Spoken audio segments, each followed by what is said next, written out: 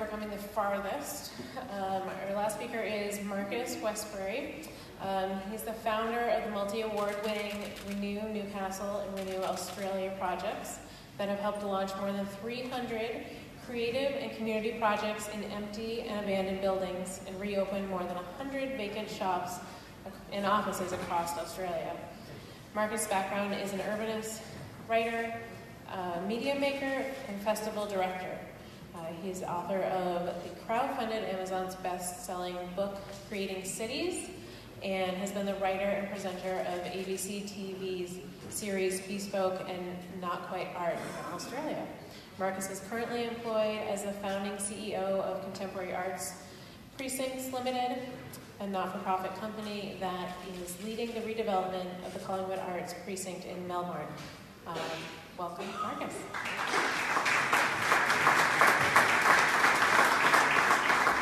Uh, thank you very much. Um, hopefully, uh, you'll all be able to understand me uh, somewhere between my uh, overindulging in the very fine Maine beer last night and uh, the fact that my body clock is telling me that it's four in the morning. Um, I'm a little bit out of it, but hopefully it'll all be good. Um, so I'm going to give you a bit of context. Uh, I'm, I'm, from a little town in Australia called Newcastle, uh, which is where the project that I'm going to talk about uh, came from. And I'm, I'm presuming, has anyone here been to Newcastle, Australia? Two. That's fantastic. Uh, I sometimes ask that question in Sydney, which is like a two hours drive away, and only three people put their hand up. So, um, so just to give you a little bit of historical context, uh, if you can get the sound on this. This is a very contemporary film that explains. Industrial City. Newcastle is one of the major industrial centres of Australia. 100 miles north of Sydney, at the mouth of the Hunter River, it's one of the busiest ports in the country. Its harbour handles over 2,000 ships a year. Many of the city's population of some 200,000 work in its great industries. Newcastle ships wool, wheat, steel, chemicals, rayon, glass, coal, and consumer goods to the world. Newcastle Steel makes machines and ships, ships built in the harbours and dockyards. This is the story of any day in Newcastle, industrial city. Um, now, I don't know how much you know about the Australian economy, but uh, that film's from 1959, and that's pretty much a list of everything Australia doesn't do anymore. Uh, with steel making, shipbuilding, they're all, all gone pretty much as industries. And so uh, Newcastle has gone through very hard times. Um, uh, to the point where in, uh, 19, in the late 1990s, so at the beginning of the 1980s, the steelworks. Uh, oh, I was also told the best description for people in the States is to tell you that it's Toledo with a beach, uh, if that gives you context. Um, but uh, at the beginning of the, the 1980s, the BHP Steelworks, was the largest steelworks in Australia, employed 20,000 people. in 1999, this happened they, they blew it up and closed it down. And um, over the course of two decades, Newcastle had lost something in the order of 20,000 jobs from the steelworks alone. So, in a city of a few hundred thousand people, or a sort of uh, uh, city and greater surrounding area of a few hundred thousand people, that's about 10% of the population working in one industry that has since closed. Um, so, the story is my background is I'm not a uh, I'm not a planner. I'm not a uh, architect. I'm not a I'm not in any of these fields that most of you are in. I came to this project by a very circuitous route, which was that uh, I had been living in Melbourne for a period of time, and then in uh, 2008 I went back to Newcastle because I had this ingenious idea that I was going to start a small bar. And it's a pretty long story. Um, the, the very short version is that uh, I found myself walking up and down the two main streets of Newcastle, which I hadn't really spent a lot of time in uh, for a while, and this is what I saw. Uh, empty, empty, empty. That's the, uh, I can't quite see it in the detail there, but that's the second oldest theatre in Australia, and it's been empty all my life, pretty much. Uh, four leaves, four leaves, graffiti, boarded up.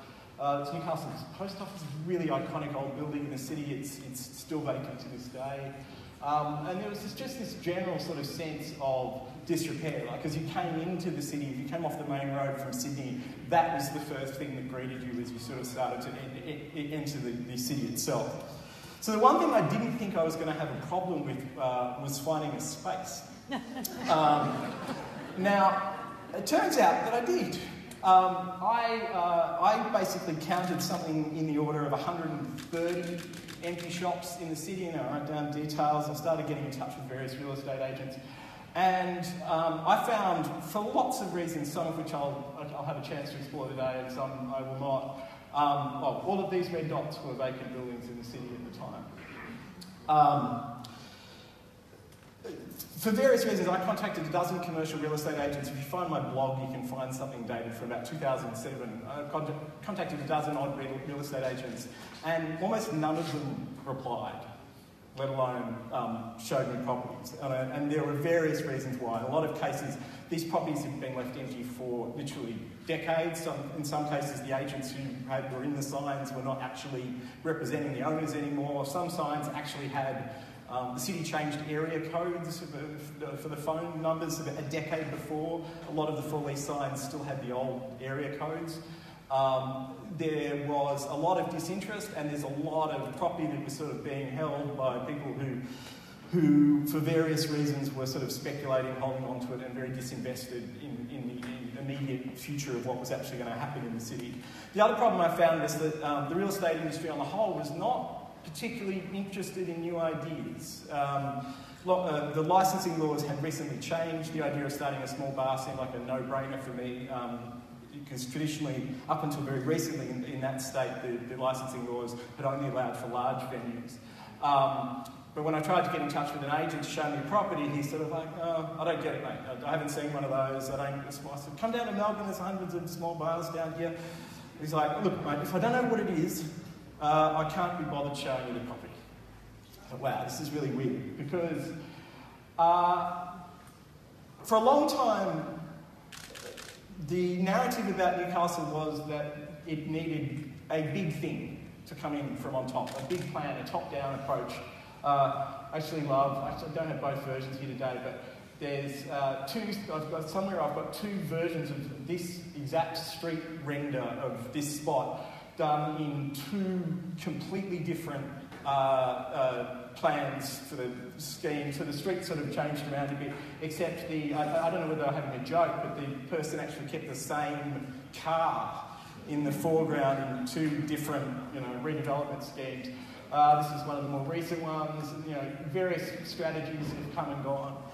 Um, now, the, my, my, problem is not with the content of these strategies. Uh, it's actually the problem is the context of the strategies. All of them are about looking at the city in a very sort of top-down way, moving big, moving big pieces around, zoning areas, creating incentives over there, thinking about what's happening there. And yet, at a really basic level, the fact that real estate agents aren't returning the phone calls of people like me isn't really anyone's job. Um, the other problems that go with this kind of big picture thinking is um, I've got a running joke that the, that the big picture change in Newcastle is two to five years away, and it always has been. So the city's just waiting and waiting for things that never quite materialise, that are supposed to come and fix everything, which creates a, the, the short term, uh, creates even more incentive to not do anything now if you think something big is going to happen soon. Um, and the very act of waiting for big things to happen is, is actually a very disruptive thing. Uh, meanwhile, so my background wasn't that I, uh, as I said, I'm not an architect. I actually came from an arts and uh, media background, and I had just come off the back of running a number of festivals and working with a lot of small scale artists and artisans and other things.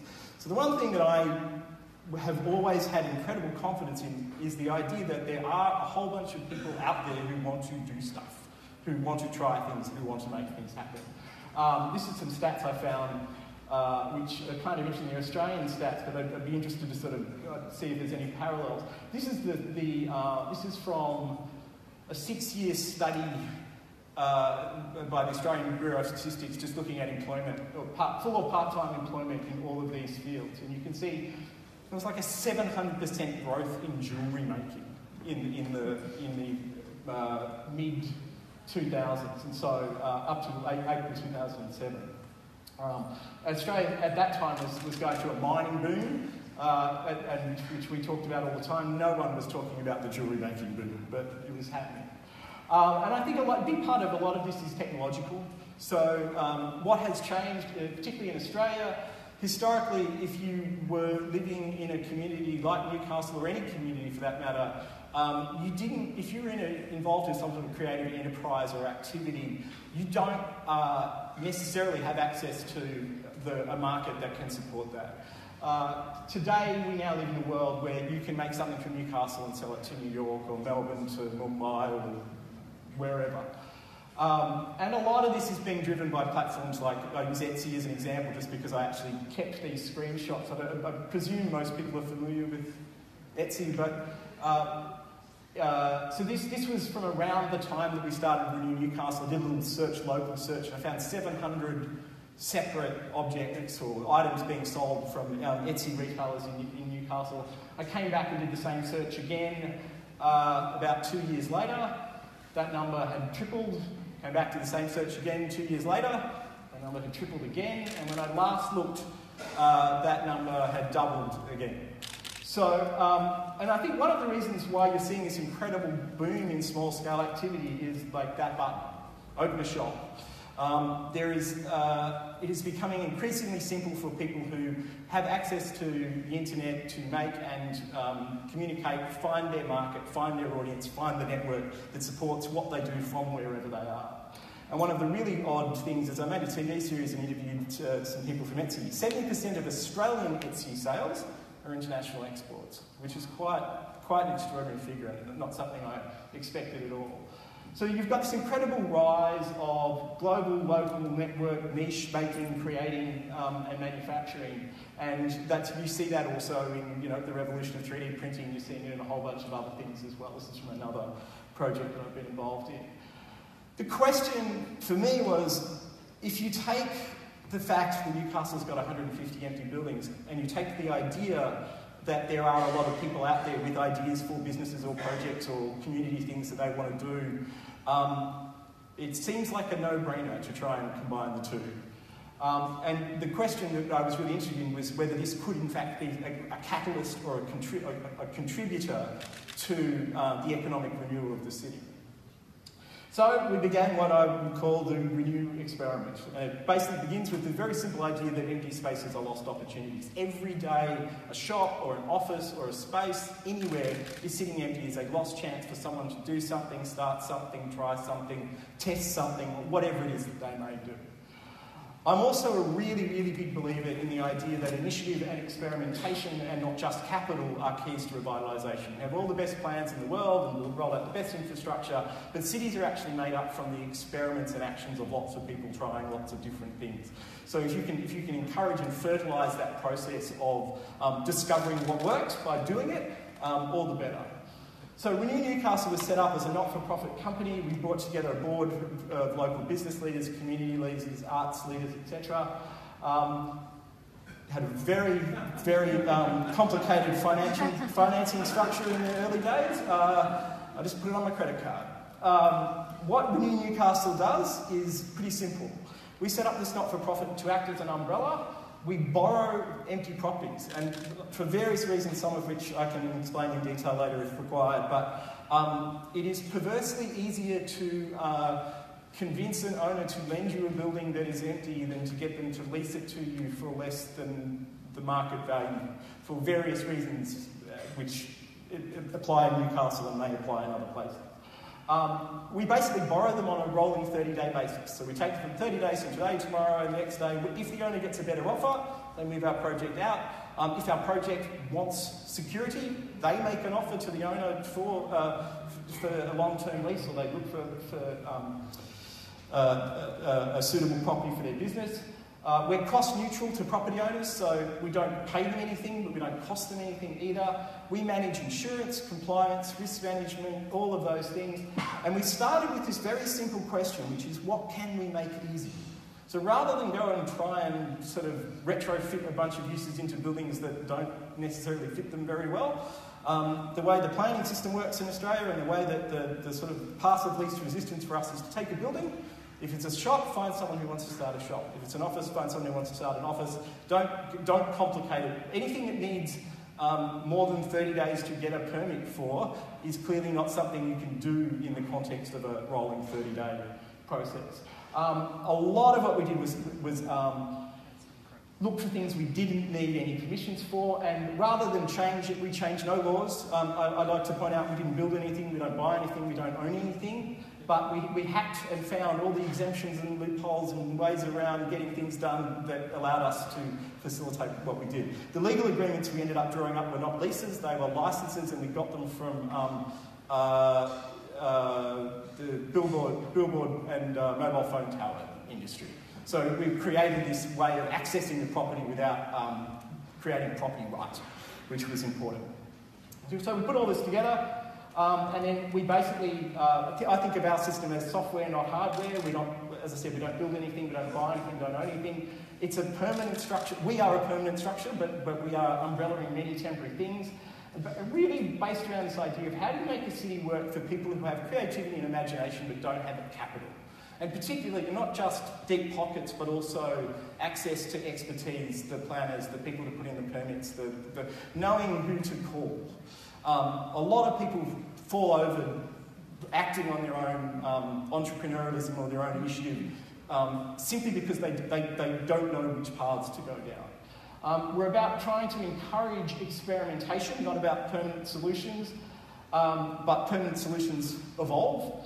Um, and we did something really, really, really radical. We, and I realised um, only belatedly that it was a very odd thing to do.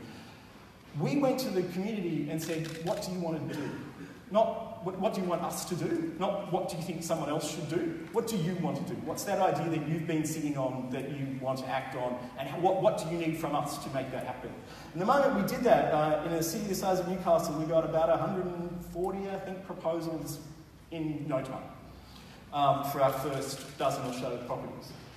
So then we began. We began the process of going property by property. This was, this was once the, the boom centre of downtown Newcastle. In 2008, it looked like this. Um, note these because I'll come back to this area later. Uh, actually, particularly note uh, that guy, who was the only person in that mall at that time. Um, uh, but uh, as you can see, it's a very underwhelming place, and if you're thinking about setting up a new business, it's probably not a lot. Uh, you know, it, the first reaction is going to be, I think I'll look elsewhere. This is us signing our first agreement with our first property uh, owner, a company that had acquired a number of those properties around the mall. Uh, I paid them a dollar. Uh, it's heads of agreement, and they agreed to lend us eight properties, and we began from there. Uh, and then we began. We went, as I said, block by block, space by space. Um, a lot of working bees, a lot of sort of sweat equity, a lot of um, kooky ideas like a sound art gallery. This is, this is one of my favourite projects. Um, collection of mums who are makers of clothes and bags and jewellery and all that sort of stuff. Uh, there, initially there were five of them. They worked out that they could each staff the shop one day a week if they got together, and then gradually they brought 30 other makers into the mix. What I love about that picture is that that uh, fit out cost uh, 60 Australian dollars, uh, which is about 40 something US dollars everything in that picture, they, um, uh, uh, they either found it, uh, it was, we had hard rubbish collection days, um, don't know if you do here, but where, where people can put out heavy rubbish and the council comes and, and um, gets rid of it. So everything that was there was like scrounged from the side of the road on hard rubbish day to the point where they actually couldn't afford paint so they got that all of the, the, the, white paint in that space is actually the ends of all the white paint tins their friends had in their garages mixed up in one bucket. so it's a unique shade of white you will not see anywhere else in the world. Um, this was an old ophthalmologist surgery that later became home to a bunch of uh, like a sort of small digital design type business. These were some guys who were running a record label from their bedroom, wanting to turn that into a shop and a venue. Uh, this guy was an interior designer, working, obviously got some um, good expertise, uh, assistance there. Uh, this is just an example of the sort of ingenious and fit outs that some of our projects did. Um, this person hated the ceiling, but because we can't change a lot of the buildings that we work with, uh, they, that is uh, clothes pegs hanging from fishing net to cover the ceiling. Um, these guys are one of my favourite stories. So we, so we support projects. The basic principle is you come to us with an idea, um, we'll lend you, we'll, we'll, try and find a suitable space, we'll lend you a space, and then if, if, it, if it works, you can stay there until the owner gets a better offer. These guys, when they came to us, the youngest was 17 and the oldest was 21, and they designed, four guys that designed t-shirts and skateboard decks. And I literally just immediately put them into the category of this will be a really good learning experience. I, you know, um, they'll have a good three months and good on them, you know. Um, and I was completely wrong because six years later or five years later, they're still there. They've got a successful business. They've just opened another store in another city. Um, the t shirts and skateboards and things that they design are now stocked in other stores around the country and around the world, and they've managed to roll the whole thing into a successful business. Um, we started to organise community events. Um, this, this, is another just sort of improvised example of, of, of space, but in this case, this was, this was uh, A-grade office space. The owner had just spent a lot of money doing this space up. So um, some of the spaces we got were in absolutely dire condition, others were in really great condition. So the challenge with this one is the owner said, look, you literally cannot put a nail in the wall. You cannot touch a thing. I've just spent all this money on it. So everything in the picture is on a trestle table or the signage is actually sitting in the windowsill because they weren't allowed to affix it to the wall. And so there's been all these improv improvisations that people have found really interesting ways of doing things. And you start to see, I'll show you a lot of photos later, but as the project evolved, so it's like the community's net bank of knowledge about how you transfer or transform spaces cheaply and efficiently and effectively. The bar just got higher and higher and higher as our, as our projects came through. This was also a great example. It's a co-working space. Um, initially they had 20 or 30 people. They now have a commercial lease as a co-working space. They also have spun off, and we don't count these in our statistics, but from that co-working space, um, there's at least a dozen independent businesses that have moved out and into the city off the back of that. Um, uh, just various pictures of events and other things, or just a bit of a sense of the transformation. And this was one of the larger projects that we took on. This was a former department store, department store chain called uh, David Jones. Uh, it's a four-storey building in the centre of town. Um, they just moved out just as we were beginning this project. They're one of the last businesses left in the inner city of any scale. It was really important to us that, essentially because they are the size of a city block, that that bit of the street didn't go dead. So we built some very cheap petitions, and I love this. This is also an example of our sort of improv improvisational uh, approach. So we worked with the city on this, and uh, it's a heritage listed building. There's some complicated issues to do with you know where sprinklers are and various other things. It was no, it was no straightforward matter to actually sort of um, reconfigure it and, and, create these little retail spaces that we wanted to create. Um, and then we worked out, as long as we didn't attach any of the things that we put, were putting in to the building, they weren't technically build, building works. Uh, and the council agreed and uh, allowed us to proceed on that basis. So everything there is, I get my fixtures and my fittings confused, but every, every, everything in there is basically propped up. It's like, if you go around the back, it's like, a, like one of those movie western sets where there's a bunch of sandbags holding up um, frames, but it works. Um, and it uh, became the hub for a lot of activity, and it brought this whole block back to life with it. So this is renewal in action. I've got lots of photos. I'm just going to fly through these. I don't want to spend too long on them, but all of these are projects that we've supported along the way. Uh, you can see milliners, designers, uh, uh, artists. Uh, this guy runs a print and illustration business. Uh, more design, that guy's a visual artist. Uh, so this, this woman is a fashion designer. Another milliner gallery, more designers. Um, you can see this quite incredible number. And as I said, you can also see the, the um, aesthetics kind of uh, lifting up as the project kind of matured and more and more and more projects came on board. Um, I, I, actually just got a bunch of these photos recently, so I, I, couldn't resist the urge. I was trying to work out which ones to pull out, but now I'll just leave a lot of them in. I'll bombard you with them just to give you the sense of the scale of it all. Um, it's, it's a lot. Uh, all up, with, uh, at last count, I think Renew Newcastle had supported 280 independent projects and reopened 81 properties in the city. um, difference. And more to the point, every single one of these projects is someone's passion. It's something that, some, that someone is passionate about. And we have been a catalyst for them to do two things to actually take that idea they've had in the back of their mind and explore it and see if it works. And in some cases, it does, and in some cases, it doesn't. Um, also, we, we've turned this um, creative community into a sort of volunteer workforce that's actually gone building by building, block by block, street by street, putting glass back in windows, painting, painting shop fronts, making them look nicer, taking down four signs, and making a huge physical transformation just through the, the sweat and effort of the people involved in the project. Oh, there's still more. Ah, you get the idea.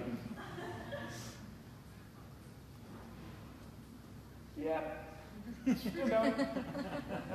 lots and lots of projects. Um, uh, so, I said before, I, remember when the man was sitting by himself? About there. This is the same street five years or so later.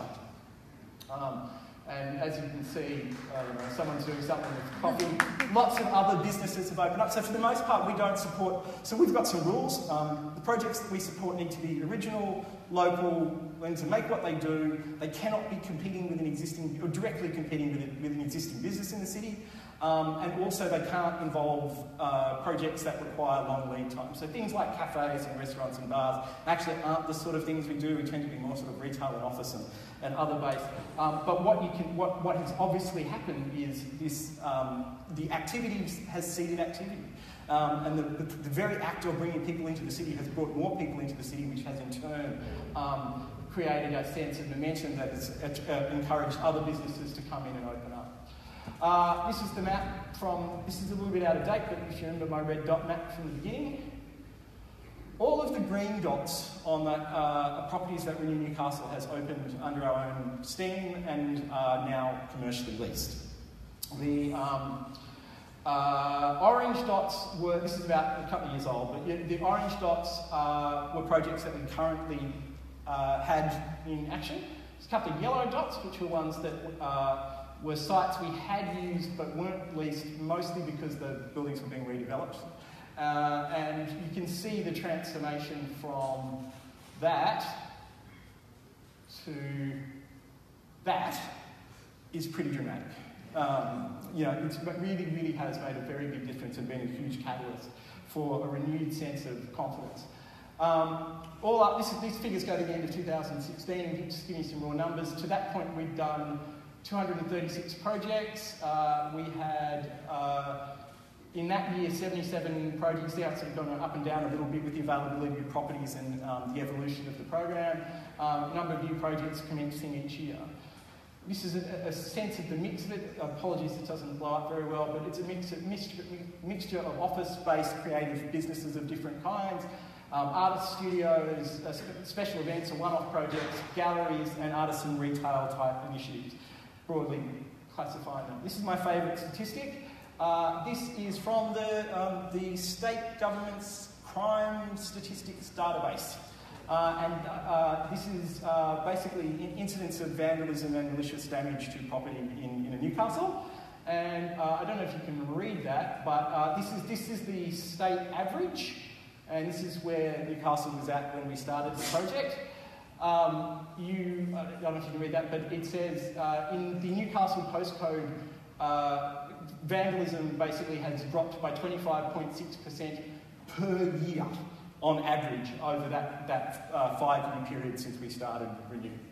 So it's a massive drop, massive drop. Um, benefits, I hope, uh, obvious, but, um, but we, we actually had someone, we had a proper uh, report done.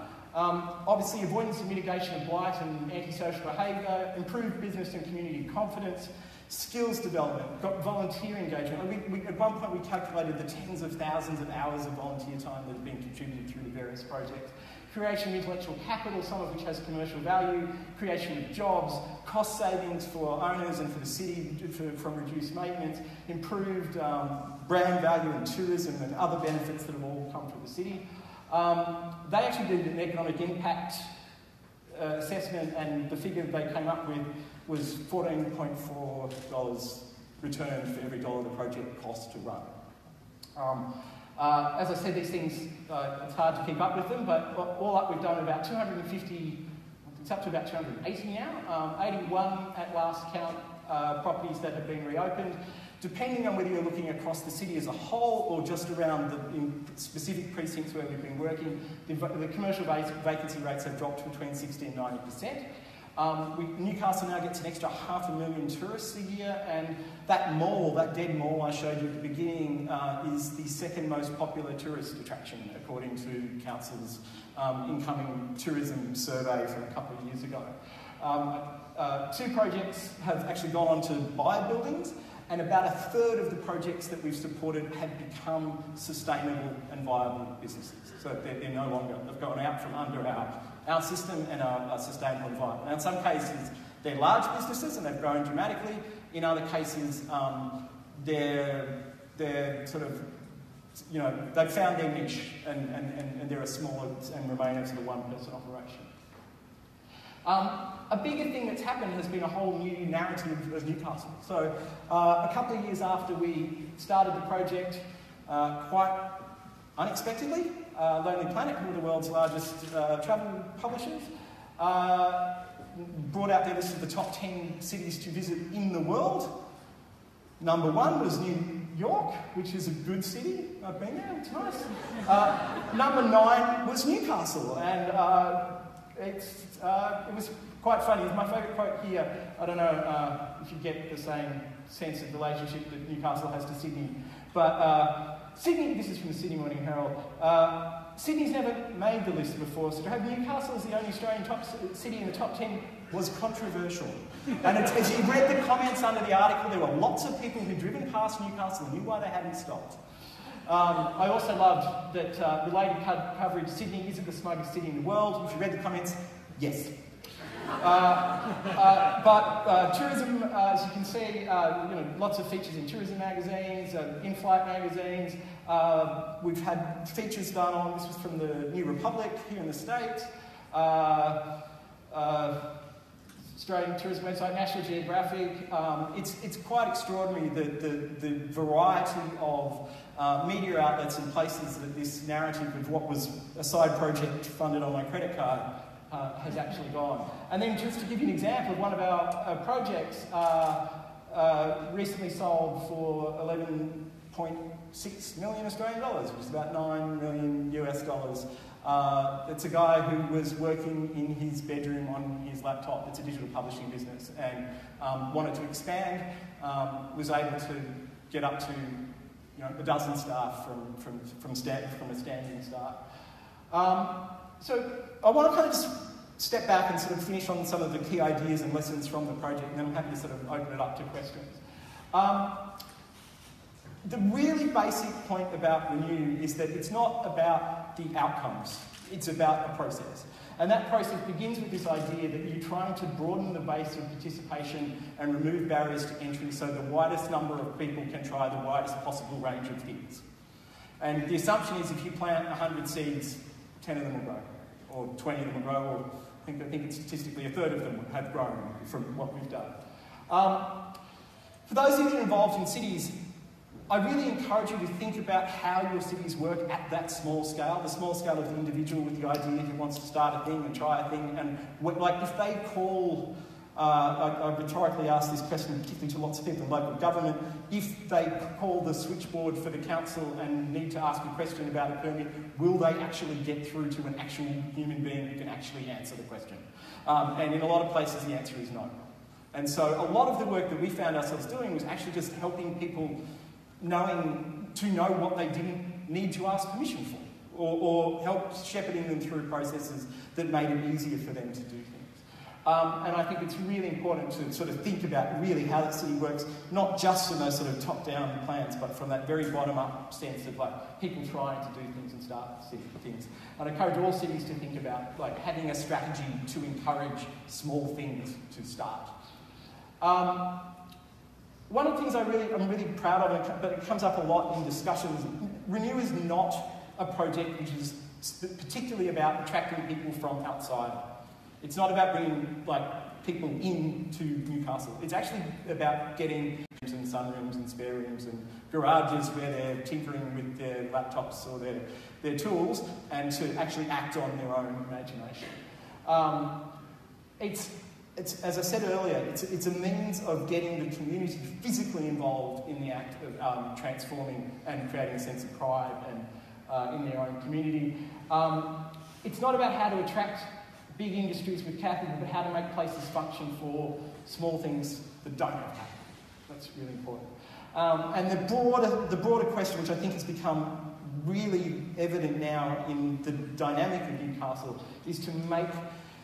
So if you go back 10 years, you go back to, I had, I had a crazy idea of starting a bar, but I, think, I, I don't think a lot of people would have walked down the streets of Newcastle at that time and thought this is a good place to try something. Nowadays, it's a place that initiative is attracted to.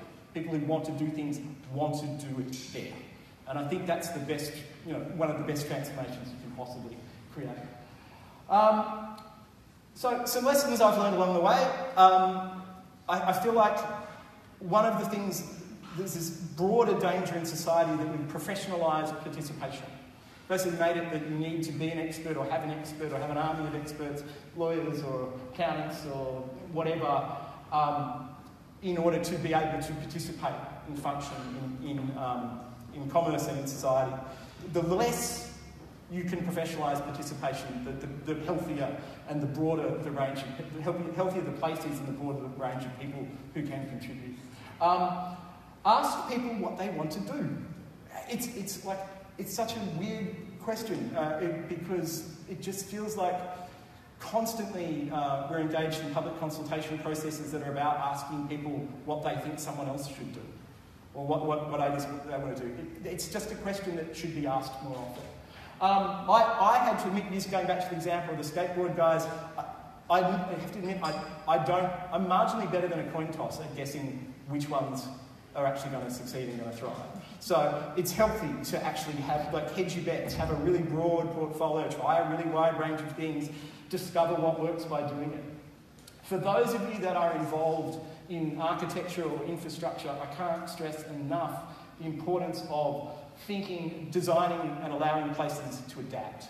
So what we've discovered is as Renew Newcastle expanded out and started moving into some newer precincts and we realised that those buildings in Newcastle had been invented and reinvented over hundreds, 100 years or more.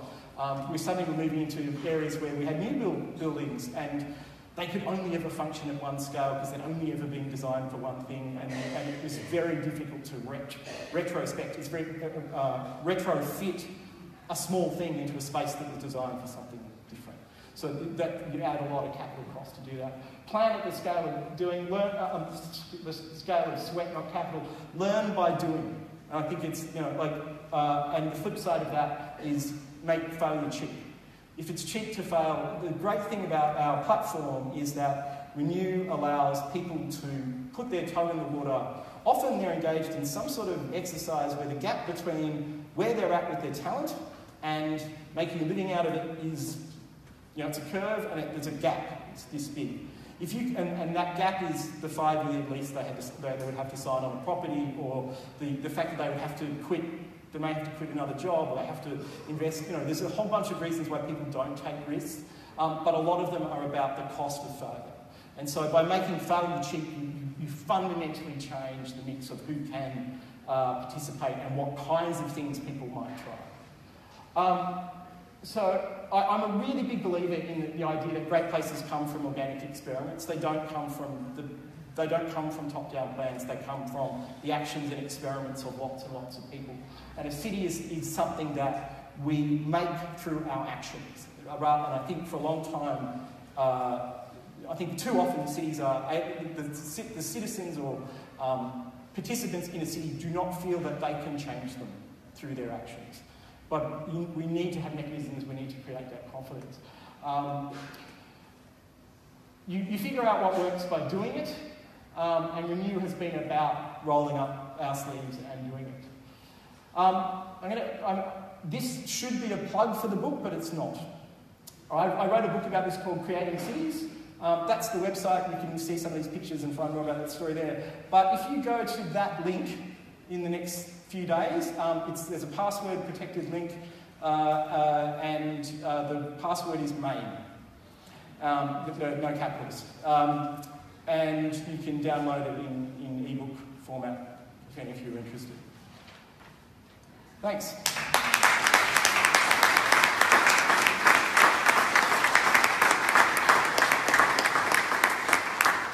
Happy to answer any questions that got time. Did, did you ever open your bar? Uh, I get that question a lot. No, I didn't open my bar. Um, and uh, it's, there was a kind of window where there was a sort of first mover advantage, and like it's gone. There's, there's 30 great small bars in Newcastle now, none of which are, I have anything to do with, unfortunately. I think you had everything to do with. Well, yes. Well, it's not to, yeah, but uh, yes. Not to mention this. Uh, sunk the funds I was going to spend on the bar into getting this thing going. So, uh, my director of traffic, or how do we? You know, if I need a microphone or not. So, uh, thanks for the phrase "incidents of malicious damage." Yeah. Uh, that's, a, that's, a, that's a, it's a police term. yeah. Uh, it's like maybe like a good name for a punk rock. Or something. um, but uh, so, you know, one of you, one of the things you talked about was um, people, you know, failing cheaply encourages Mm. people to take risks. But how overcome, you know, these landlords? Obviously, it was easier for them to just do nothing with their property because they couldn't capture the value of whatever they, you know, whatever their risk might have been at the time. How did you get people to overcome the fact that a lot of the value creation that you were doing in Newcastle wasn't actually going to necessarily benefit them directly or immediately? And so, how did you get them to be like, this collective effort is eventually going to turn into something good, or hopefully good enough to be worth all the sweat equity? Yeah, uh, so the question for those who didn't catch it is about how, how we convince landlords, uh, broadly speaking. Um, look, the, so I, I found the biggest single factor in whether we can get a landlord to give us a property is whether we can meet with someone who can make a decision. Um, and when we can meet with someone who can make a decision, about 80% of the time they will say yes. Uh, and that's because we spent a lot of work up front designing a system that made sense for them. So the, the, everything from the legal agreements to the insurance to what we offer in terms of all of the different things.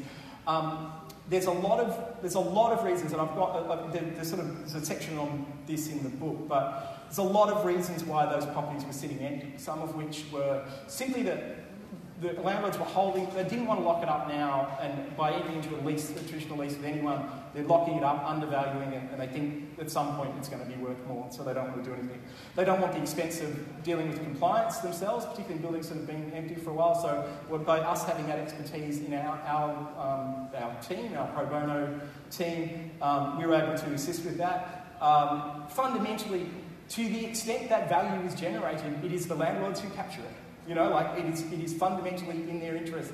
They benefit more than anyone from the, um, the uplift that's generated in um, activity and the, the returning of um, benefits. So we've worked with, across Australia now, we've worked with probably, I'd, say scores of property owners, like um, ranging from uh, mum and dad investor that own one property that they bought for their you know, retirement and probably a poor choice to buy where they did, um, to multinational listed companies and everything in between. Um, where we really struggle is when the, and what I've found a lot of is that um, there are a lot of property owners who are disengaged for various reasons. Like they're either not physically in a community, that you can't meet them, you can't find them. There are properties in Newcastle where all I know is that there's a PO box in Singapore, and I have no idea how to get through to that person. There's other ones where um, there, there's the classic one that I encounter variations of all the time is properties owned by three cousins who inherited it from their grandparents and don't talk to each other very much. So they, they don't actually have a functional decision making process about what to, to do, and then there's those sorts of issues. Um, but fundamentally, we, we designed a system that makes sense for landlords and takes the risk away from them. And we, we, we, we um, I, I, like to say we love risk. We actually we take on risk uh, as the intermediary so that it's easier for the parties on either side to, to do what they need to do.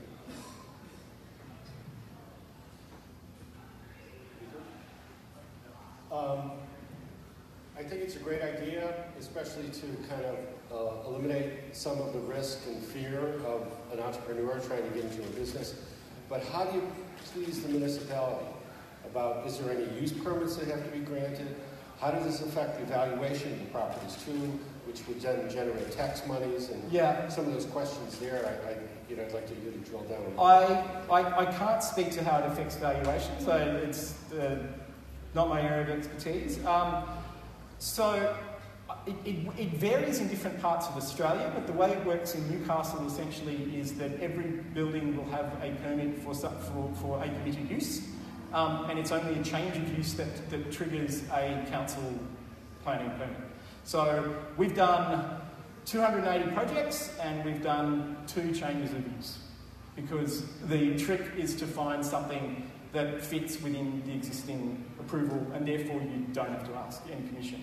Now, sometimes we stretch that a little bit in terms of how far we, we go with that, bit of ask forgiveness for not permission. Um, but for the most part, we're in a unique position because we can, we've got access to these two pools. We've got access to this pool of properties that are quite diverse, potentially once, particularly when we've got some of the larger property owners involved. And we've got access to this incredible pool of ideas. And actually, the biggest criteria for whether someone gets in a space is, is there a space that this project fits in?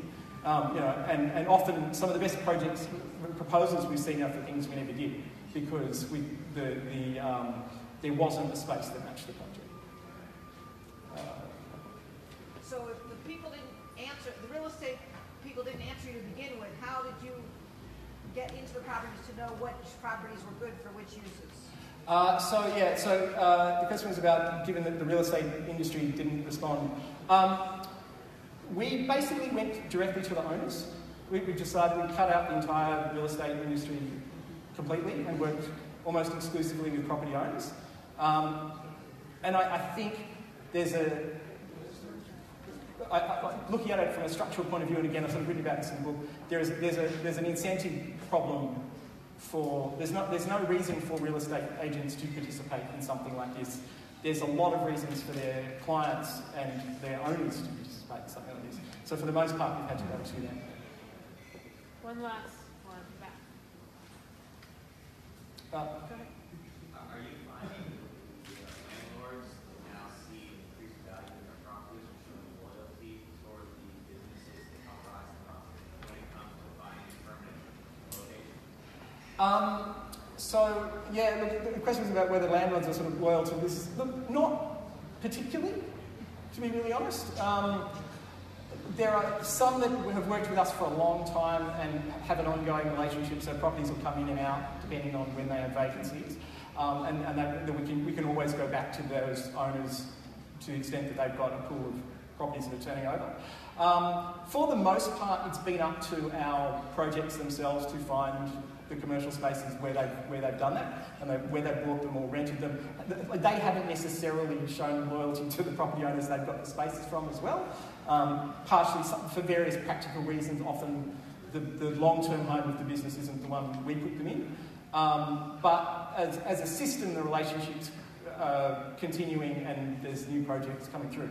The other thing that has happened is um, there have been a number of like significant uh, property uh, sites that have changed hands over, over the years as well. We unfortunately do not have any more time, but I want to thank Marcus and all of you for coming today.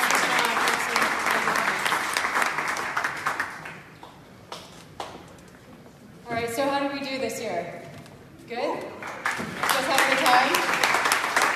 Yes, Sarah, Sarah, shut up. Oh, All right, she's saying no. Uh, I just want to give a huge round of applause to all of our speakers today and all the volunteers who made this event happen. So if everyone could give me of applause.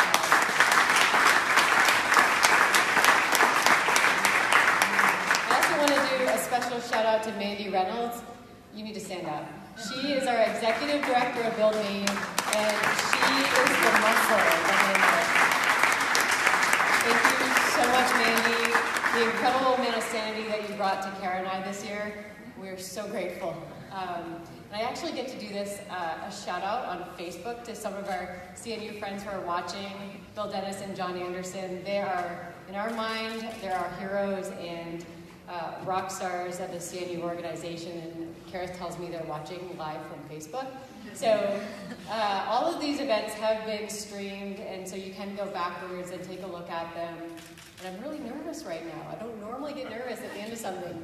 I think I'm just incredibly moved by this year. I think I've cried uh, many times at happy tears, partly also because of major work fatigue. But I'm so grateful for all of you being here. Uh, I don't think I have anything else to say except we'll see you next year. Please leave your wait. What? I was just going there. Please leave your evaluations behind for us. We'd really appreciate to hear your feedback. And then the last thing would be that if you have some spare time, because we are volunteers, if you want to stay behind and do some chair folding or help with some cleanup, we'd greatly appreciate it. Yes. And last but not least, Thank you to our hosts at this event, and thank you to our moderator who did such a fantastic job. If you can give her also a round of applause.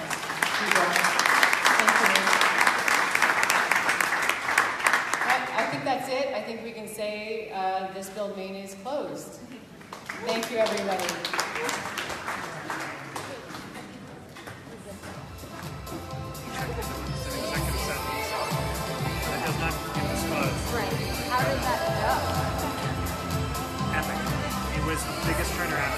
I was I was almost ready. I was almost ready to walk up. Well, yeah. And I got five of them to just basically agree to come to and, and of course, then reads the room. It's like, okay, well,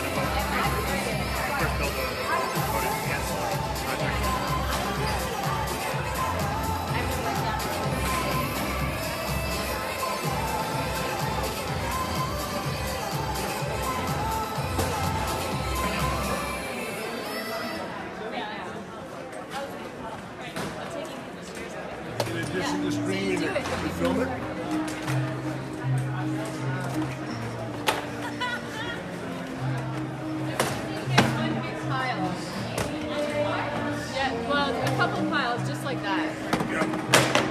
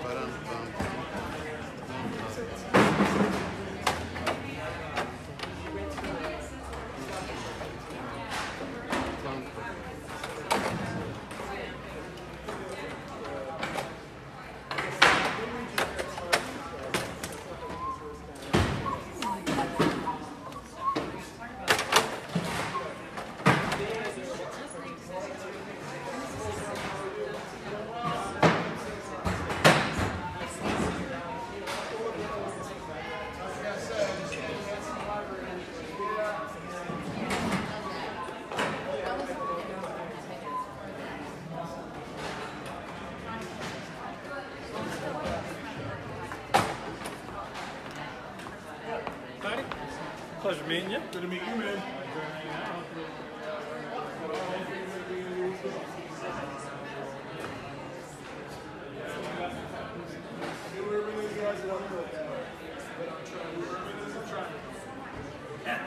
What? Yeah.